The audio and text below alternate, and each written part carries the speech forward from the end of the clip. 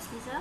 Jadi insyaAllah pada sesi pembelajaran pada kali ini kita akan bincangkan tentang standard pembelajaran 2.6.5 iaitu menghasilkan reka bentuk dan pembungkusan makanan. Semasa pandemik COVID-19, aktiviti di bengkel tidak digalakkan kerana dibimbangi murid-murid tidak dapat mematuhi penjarakan fizikal. Jadi sebagai solusinya, murid-murid diminta untuk menghasilkan reka bentuk makanan di rumah kemudian dikongsikan bersama rakan-rakan dalam grup telegram kelas masing-masing. Di dalam video ini juga saya akan kongsikan hasil kerja murid iaitu reka bentuk makanan yang telah dihasilkan. Mudah-mudahan uh, ianya menjadi panduan dan juga rujukan guru-guru dan juga murid-murid yang mengambil mata pelajaran RPT.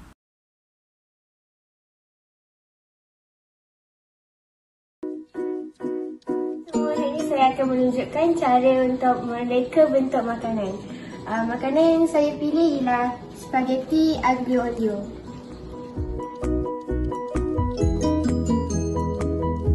Uh, capsicum, uh, tomato cherry, um, cendawan dan bunga lawang.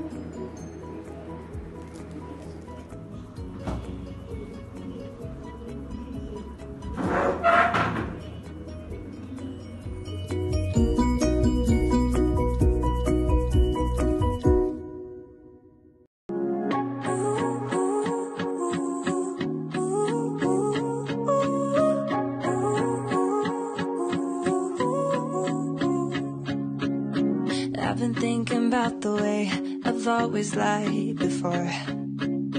Promising forever when I've probably been unsure.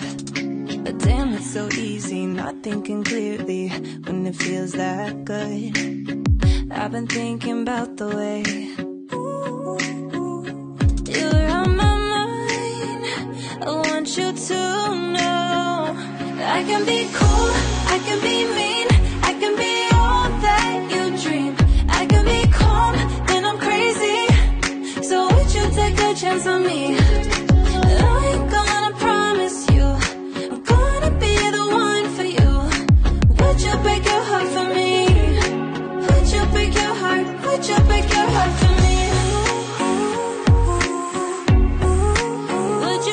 heart for me?